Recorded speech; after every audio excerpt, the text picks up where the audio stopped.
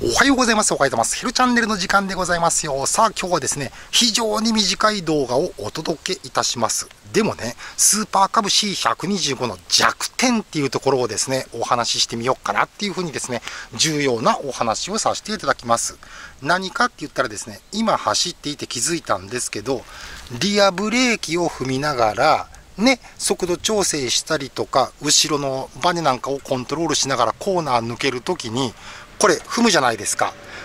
ここガリガリに吸ってしまったよっていうところをですね感じたというわけでございます。久しぶりにスーパーカブ C125 を乗ったというわけでございますので、しばらく乗ってなかったじゃないですか。すっかりですね、このリアブレーキのですね、トリックをですね、おずさんですね、忘れ去っていたというわけでございまして、先ほどリアブレーキで調整しながら峠道を駆け下りるときにですね、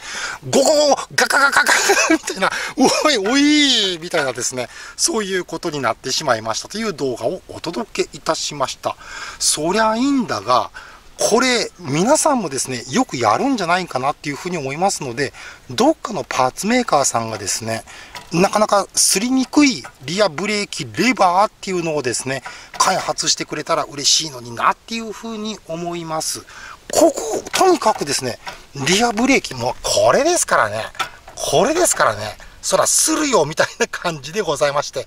どっかですね、メーカーさんがですね、うん、開発してくれたらいいのにな、スーパーバンキングブレーキスペシャルみたいなですね、そういう活かしたですね、ヤングな名前にしてですね、それが活かした名前かどうかっていうのはわかんないんですけど、そういうパーツを開発すればいいのになっていうところをお届けしまして、本日の動画を終了させていただきます。ではでは。